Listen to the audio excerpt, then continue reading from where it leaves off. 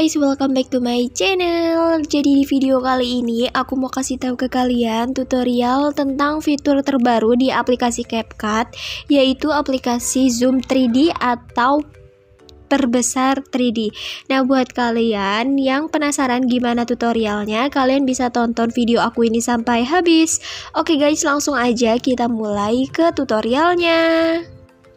Oke guys, jadi untuk caranya pertama-tama kalian bisa langsung aja masuk ke aplikasi CapCut-nya, lalu kalian klik proyek baru.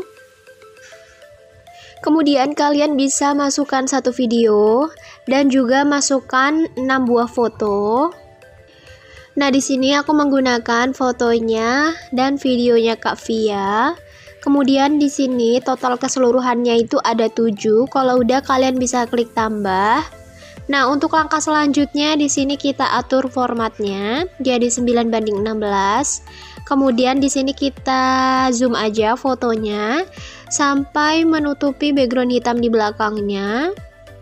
Jadi kalian bisa zoom satu persatu ya, guys.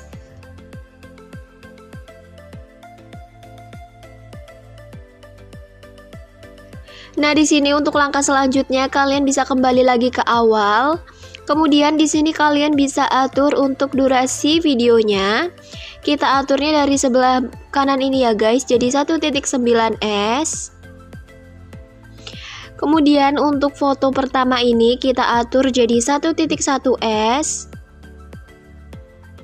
Lalu untuk foto yang kedua kita atur jadi 1.2s. Kemudian untuk foto ketiga sampai foto yang terakhir aku bakal taruh keseluruhan durasinya di samping video ini. Jadi di sini aku bakal percepat aja.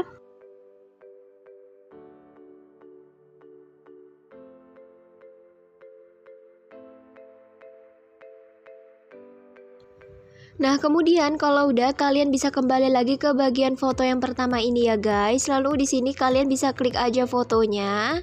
Nah, di sini kalian geser menu yang ada di bagian bawah, pilih yang gaya, lalu pilih yang perbesaran 3D ini.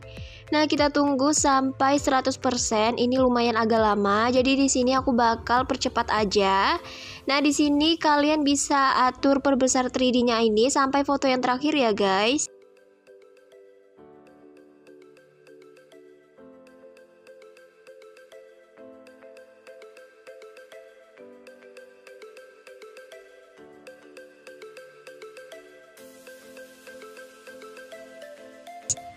Nah, di sini untuk langkah selanjutnya kalian bisa kembali lagi ke awal dan di sini kita tambahkan filter. Caranya kalian geser aja menu yang ada di bagian bawah, pilih yang filter dan pilih yang retro. Pilih yang VHS 2 ini ya, guys. Kemudian di sini kalian bisa kecilin filternya jadi 65-an aja atau terserah keinginan kalian aja ya, mau berapa. Nah, di sini pokoknya aku atur jadi sesuai keinginan aku aja jadi 65-an. Kemudian kalian bisa klik checklist dan di sini kalian bisa panjangkan sampai foto yang terakhir ya guys untuk filternya. Jadi kurang lebih seperti ini.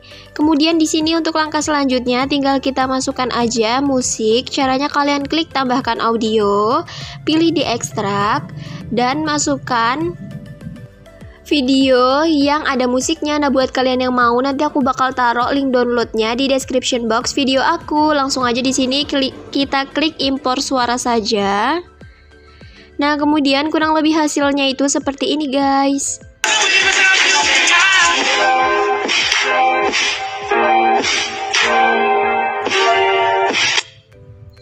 Nah, kurang lebih seperti itu ya, guys. Nah, kalau kita rasa udah, kita bisa langsung aja simpan atau ekspor ya. Nah, kurang lebih hasilnya seperti itu. Buat kalian, selamat mencoba ya.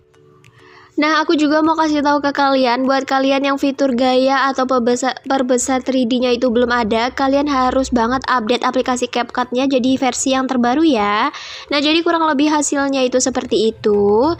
Nah, buat kalian yang mau coba, kalian bisa ikutin tutorial yang udah aku kasih tahu tadi.